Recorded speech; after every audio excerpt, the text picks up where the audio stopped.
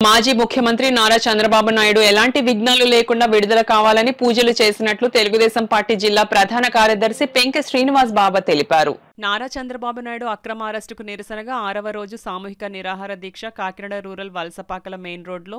కాకినాడ జిల్లా టీడీపీ ప్రధాన కార్యదర్శి పెంకె శ్రీనివాస్ బాబా వాసిరెడ్డి యేసుదాసు పేరాబత్తుల రాజశేఖర్ ఉదయం నుంచి సాయంత్రం వరకు నిరాహార దీక్ష చేపట్టారు. పెంకె శ్రీనివాస్ బాబా మాట్లాడుతూ కాకినాడ రూరల్ నియోజకవర్గం ప్రజలు పూజలో నారా చంద్రబాబు నాయుడు ఆరోగ్యంతో కడిగిన ఆణిముత్యంలాగా బయటికి రావాలని ప్రార్థించమని కోరారు. ఈ కార్యక్రమంలో మండల ప్రెసిడెంట్లు రామ్దేవ్ సీతయ్య ద్వారా దేవ్ వెంకన్న కొల్లాబత్ కొల్లాబత్తుల అప్పారావు బావిశెట్టి ప్రసాద్ కొండా వినాయక్ రంగారావు తదితరులు పాల్గొన్నారు.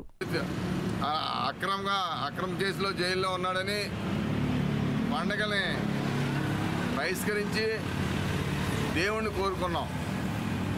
ఏమనంటే న్యాయం జరగాల అన్యాయంగా ఉన్న జగన్ జైలుకి వెళ్ళాలా బాబు గారికి బెయిల్ రావాలని చెప్పి ప్రార్థించడం జరిగింది. తప్పకుండా పాండవులు ఐదుగురు కౌరవులు వంద మంది. పాండవులు న్యాయంగా ఉండబట్టి ఆ రోజు న్యాయం జరిగి గెలిచింది పాండవులు. అలాగే ఇప్పుడు దొంగ పార్టీ కౌరవులు. తెలుగుదేశం పార్టీ అధినేత చంద్రబాబు నాయుడు గారు మన రాష్ట్రాన్ని కాపాడటం కొరకైనా మీరు పూజల్లో ఆయన మళ్ళీ ఆరోగ్యంగా బయటకు వచ్చి ముఖ్యమంత్రి అవ్వాలని కోరుకోవాలని మేము ఆశిస్తున్నాం. ఈరోజు ఆయన తరపున మేము కూడా ప్రతి చోటన పూజలు చేస్తాం జరిగింది. అయినా సరే దీక్షలు మాత్రం కంటిన్యూ చేస్తున్నాము.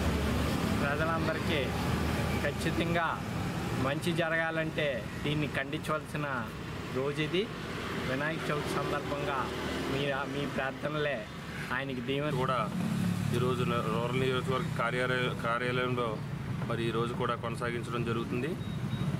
రేపు మా నాయకుడికి బెయిల్ వచ్చి ఆయన మళ్ళీ ఈ ఆంధ్ర రాష్ట్ర ప్రజల పక్షాన పోరాడే శక్తి ఆ భగవంతుడు కలగజేయాలని ఆ వరసిద్ధి వినాయకుడిని మేము అందరం ప్రార్థించడం జరిగింది. మళ్ళీ న్యాయమే ఎప్పటికైనా ఇబ్బంది పడినా గెలుస్తుంది.